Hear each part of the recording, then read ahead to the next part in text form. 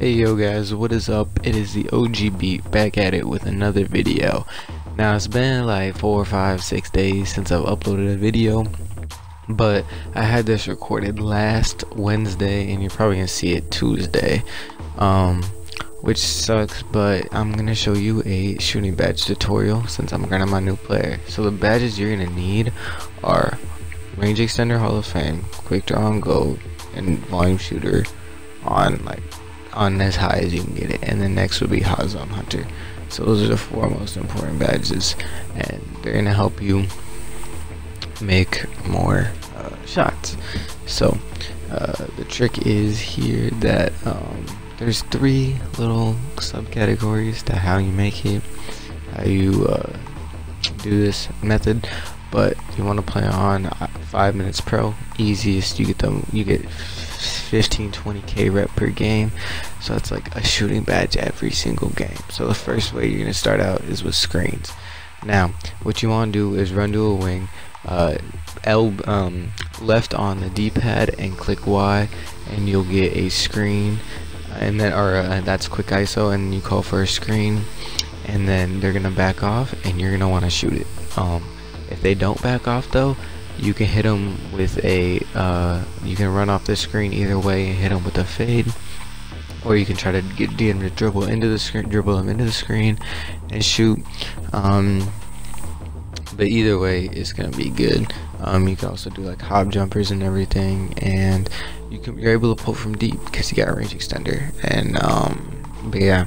So you see him backing off and you just pull the shot. It's really easy um, see back off pull the shot and this works better against teams that don't have a really good point guard like the Clippers with Lou Williams. They do have Patrick Beverley though, so you might get fucked up. Which he doesn't. He see he doesn't stick on screen, so you can just hit him with that fade I was talking about. That's and difficult shots is another important badge that you want to have. You don't really need it because you can still green it on pro, but it, will be useful. And if they double team you, also, uh, they're gonna start double teaming you. When you hit shots, they're gonna double team you. You're just gonna want to pass it off and uh, get the ball back, call, recall for the screen, and shoot the ball.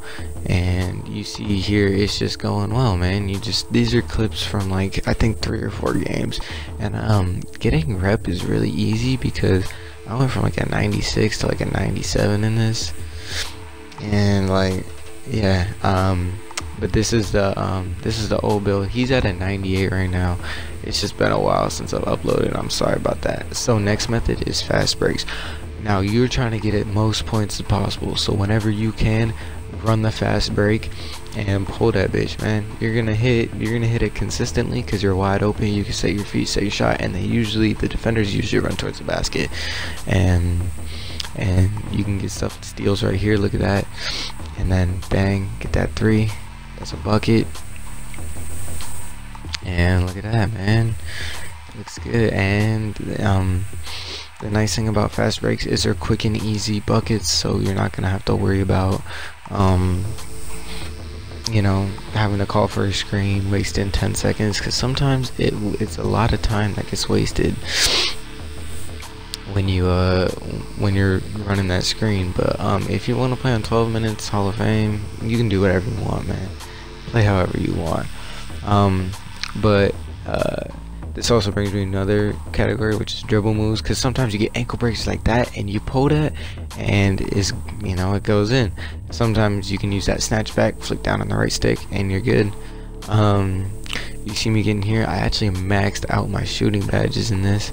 See most overall performances are 99.9 but look at that. Boom 97.3 16k on that game and that was a pretty alright game actually. Maxed out my shooting badges. Look at that. Alright I hope y'all enjoy this method. I'll come at you with another video tomorrow. See y'all later. Peace